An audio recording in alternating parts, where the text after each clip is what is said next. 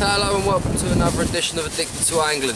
I'm Matthew Crowe and tonight we're here on Clacton Pier in Essex looking for some codling. It's the end of February, the sprats that we're about keeping the cod away from the bottom baits have dispersed, cod are getting their heads down. We've heard good reports the last couple of days, there's been a few showing so we thought we'd come down here tonight and see what we can get. I'm down here tonight with two of my good friends, Peter Brock and Paul Dawes. Both got two rods out. I've got two rods out. Only bait I'm using tonight is peeler crab. I'll go through that later with you. Uh, we'll see what happens. See if we can get something on camera for you. Be nice to catch a codling. Uh, hopes are high. Tide's still ebbing. It should start to flood again soon. I reckon once it starts to flood, that will uh, turn them on. So we'll see what happens. Let's see if we can get a fish on camera for you. Enjoy.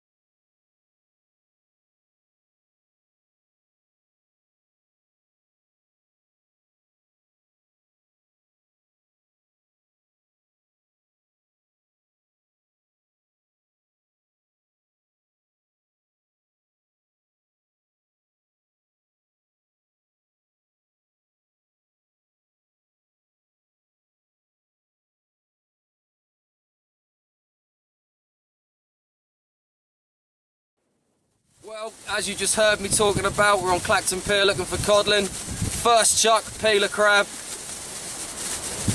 Look at this little beauty. Lovely slack liner, wolfback crab right down. Beautiful, beautiful little fish.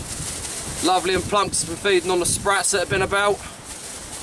All I can say is, if we keep getting these all night, I'll be a very happy chappy. Right, we'll crack on. See you later.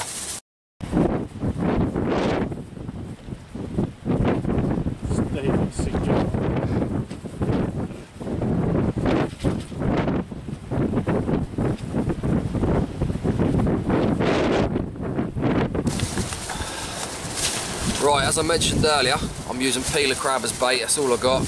Got them sent up from Devon. This time of year around the east coast, they're not really peeling. Um, it's too cold, but down Devon, they peel all the time due to the water temperatures. Uh, sorry about the wind noise on the video. I'm tucked away as much as I can at the minute, but it is blowing quite well, and I'm hitting up behind one of the shelters on the pier, so if there is a lot of wind noise, then I apologise again.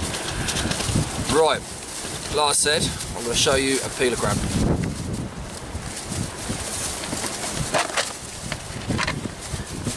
This, even though he looks like a normal crab, is a peeler.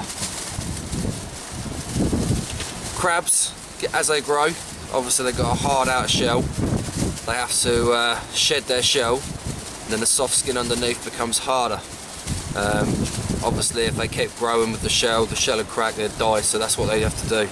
What I'm going to do is I'm now going to take you through how I bait up peeler crabs. Um, a lot of people do it differently. This is just how I do it. So uh, if anyone out there's ever or ever thought about using these and never actually used them because they're put off of not how to uh, prepare them, this is how I do it. Okay. Right. First thing I do is get the outer shell. Give the outer shell a push. Give it a crunch. So you know it's a peeler because the shell lifts up.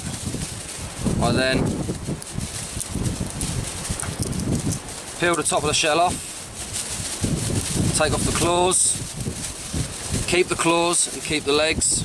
Perfect little bait for tipping off. They'll peel as well. Crack them off, get the flesh underneath. If you're using a worm bait, tip the worm bait off. Flatties absolutely love it. so. I've removed the top shell, removed the claws. I'm now removing the legs.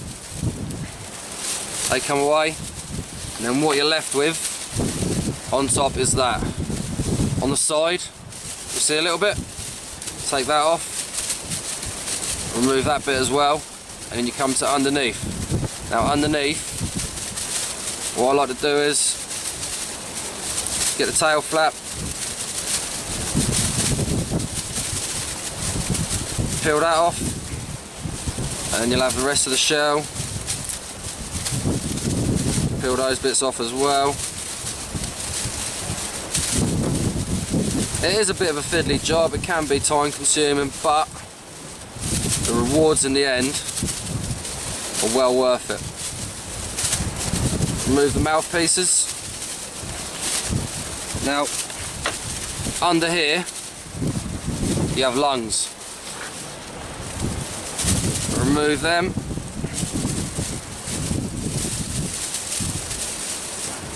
Get all that stuff off. You'll have the leg sockets. Now what I do, trim the leg sockets off as well.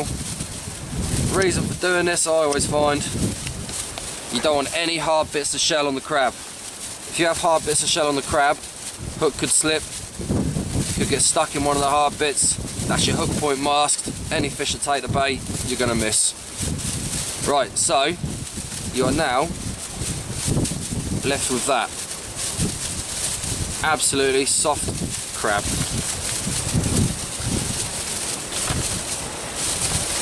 What I then do is take a pair of scissors, cut three quarters up the crab. So what it gives you is like a butterfly. See that? Then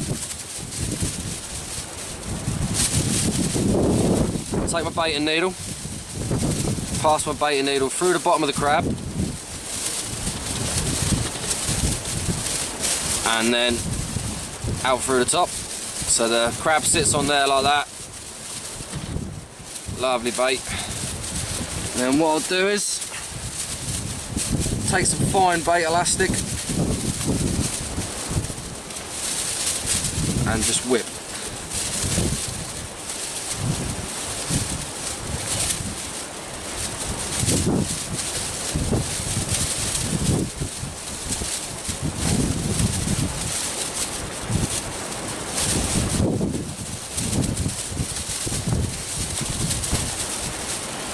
Keep going. Whip it on nice and tight. Lovely and tight put a fair bit on. And then once your crab is whipped on nicely. Top bit. Break it off.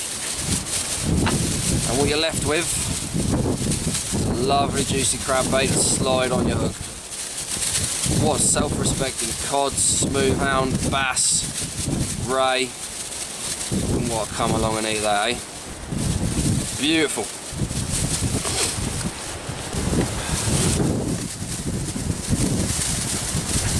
Right, I'm just going to run you through the rig I'm using tonight. Both rods I'm using pulley pennel droppers. Same idea as a pulley. Fish takes the bait, when you hook into it, fish stays below the weight, the weight's up in the water, out of any trouble. Now that, if you can see it, I hope you can, is the rig I'm using. And the drop part of it is, once the imp, which I use, breakaway imps, great bit of kit, hits the water, water pressure pops it off, the trace then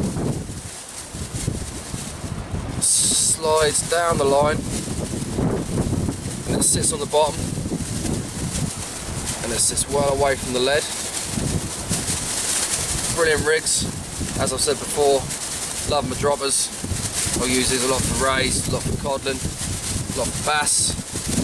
Pennel setup, two 2 Sakuma Mantas, sharp hooks, good hooks, And then what I'm going to do now is I'm going to show you how to put the crab on the hook. That's the crab bait I showed you earlier. Lovely and juicy, ready to go. And literally what I do is take the bottom hook, put the bottom hook into the baiting needle, like so. And then push the crab up hold the line tight and what I'll do is I'll feed the crab over the hook. You see that? Take it out.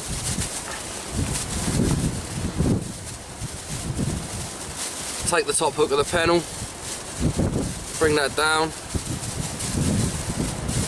wrap it around the line a couple of times and then place that through the top. And then what you have is a lovely presented crab hook mate. Absolutely beautiful. Right tide's now flooding it's been a bit quiet. The wind is absolutely immense. Uh, we're hiding up behind the shelters trying to keep out of it. But now it's flooding. Just had another one of these little beauties. Hopefully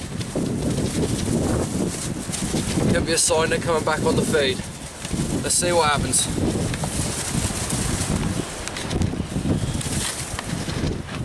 Cheers, Dawes.